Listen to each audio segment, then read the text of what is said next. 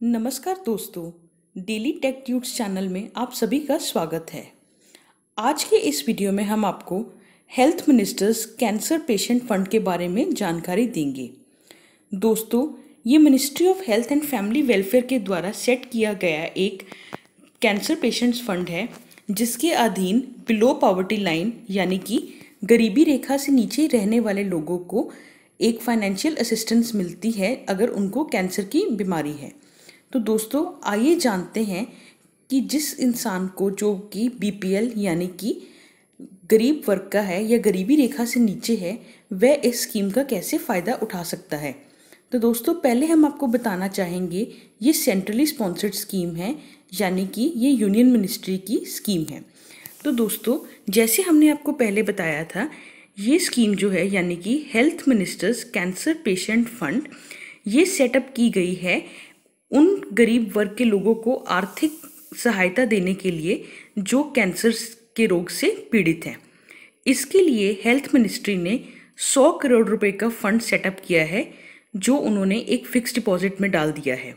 जो भी उस फिक्स डिपॉजिट से इंटरेस्ट आता है, उसी को लेके गरीब वर्ग के जो या गरीब, गरीबी रेखा से नीचे रहने वाले कैंसर पीड़ित पेशेंट्स की मदद में वो काम आता है। तो अब हम आपको इस वीडियो में बताएँगे इसका एलिजिबिलिटी क्या है और कौन कौन इस स्कीम का फ़ायदा उठा सकता है। तो दोस्तों, सबसे पहले हम आपको बताएँगे इसके बेनिफिशरी यानी कि कौन इस स्कीम को अपने अंदर ले सकता है।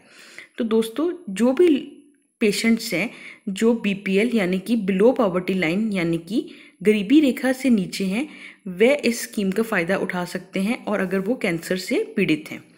तो इसमें आपको क्या फ़ायदा मिलेगा? इसमें आपको एक फाइनेंशियल असिस्टेंस दी जाएगी, यानी कि एक आपको रकम दी जाएगी, जिसके अधीन आप 27 रीजनल कैंसर सेंटर्स यानी कि जो भी आपकी जो भी आपका राज्य है, हर एक राज्य में एक रीजनल कैंसर सेंटर बना होता है। तो इस स्कीम का फ़ायदा लेने के लिए आपको उस रीजनल कैंसर सेंटर में एनरोल करना होगा और वहाँ पे आपका ट्रीटमेंट किया जाएगा उस राशि से जो आपको इस स्कीम के अधीन मिलेगी। तो दोस्तों, आइए अब जानते हैं इस फाइनेंशियल असिस्टेंस यानी कि इस आर्थिक मदद का फ़ायदा लेने के लिए आपको क्या क्या डॉक्यूमेंट्स की ज़रूरत पड़ेगी।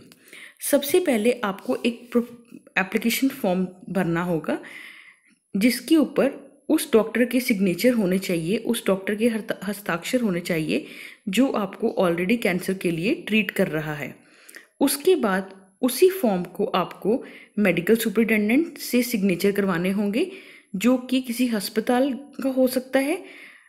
अस्पताल एक सरकारी ही होना चाहिए, या फिर रीजनल कैंसर सेंटर का वो जो मेडिकल सुपरिटेंडेंट है, हो सकता है। इसके बाद आपको अपने इनकम सर्टिफिकेट यानी कि आपकी आय कितनी है, सालाना आय का जो आपका एक सर्टिफिकेट होता है, वो देना होगा ताकि उनको पता लग जाए आप गरीबी रेखा से नीचे हैं। इसके बाद आपको क्या लगेगा, एक आपके जो राशन कार्ड होता है, उसकी कॉपी तो दोस्तों, इसके अंडर क्या है, जो भी रीजनल कैंसर सेंटर्स हैं और जो फंड हैं, उनके पास पचास लाख रुपए का उनको फंड दिया जाता है रीजनल कैंसर सेंटर्स को। और आपको, अगर आपकी जो ट्रीटमेंट है, जो कैंसर का इलाज है, उसकी अगर जो कॉस्ट है, वो दो लाख है तो आपको वहीं पे आपकी कॉस्ट कवर हो जाएगी आपकी स्टेट में ही, जिस राज्य में आप रह रहे हैं रीजनल कैंसर सेंटर में। मगर अगर आपकी जो इलाज है, वो दो लाख से ऊपर है तो आपका जो केस है, वो दोबारा से ministry of health and family welfare को रेफ़र किया जाएगा। ये रेफरेंस इसलिए दी जाएगी क्योंकि अगर दो लाख से ज़्यादा अमाउंट है तो आपका ट्रीटमेंट सीधे ही रीजनल कैंसर सेंटर में नहीं हो सकता। इसके लिए आपको जो ministry of health and family where है, यानी कि सेहत और परिवार कल्याण विभाग से एक आपको रेफरेंस दिया जाएगा और वहाँ से जब आपका अप्रूवल होगा, तब आपका जो केस है रीजनल कैंसर सेंटर पे ट्रीट किया जाएगा। मगर याद रखें, अगर तो आपके कैंसर के इलाज की कॉस्ट दो लाख से कम है तो कोई दिक्कत नहीं है। जो भी हमने पॉइंट्स बताए हैं आपको, जैसे आपका इनकम सर्टिफिकेट राशन कार्ड की कॉपी वगैरह, और आपका जो एप्लीकेशन फॉर्म है साइन किया हुआ, एक तो आपके डॉक्टर से, और सेकंड किसी भी मेडिकल सुपरिटेंडेंट से। ये सब आपको लगाने हैं, और अगर दो लाख से कम कॉस्ट है तो आपका रीजनल कैंसर सेंटर में इलाज हो जाएगा। मगर अगर जो कॉस्ट है, वो दो लाख से ज़्यादा है तो आपका केस ऊपर भेजा जाएगा, सेहत और परिवार कल्याण विभाग को। उसके बाद जो भी उनका डिसीज़न आएगा, या रेफरेंस आएगा, उसके बाद ही आपका इलाज शुरू किया जाएगा इस स्कीम के अंडर तो दोस्तों, हमारे डिस्क्रिप्शन बॉक्स में जो लिंक दिया गया है, आप उस पर क्लिक करके और डिटेल्स में जा सकते हैं। वहाँ पे एक आपको पीडीएफ में फॉर्मेट मिल जाएगा। उस पर आपको सारा एप्लीकेशन फॉर्म वगैरह का जो भी प्रोसीजर है, जो भी फॉर्मेट है, वो पता लग जाएगा। तो दोस्तों डिटेल के लिए कृपया हमारे डिस्क्रिप्शन बॉक्स में दिए लिंक पे ज़रूर क्लिक कीजिए।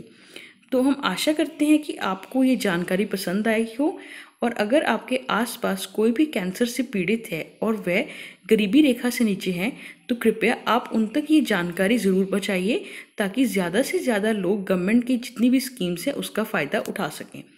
आशा करते हैं कि आपको हमारा आज का वीडियो पसंद आया हो। कृपया लाइक कीजिए और हमारे चैनल को सब्सक्राइब कीजिए। धन्यवाद।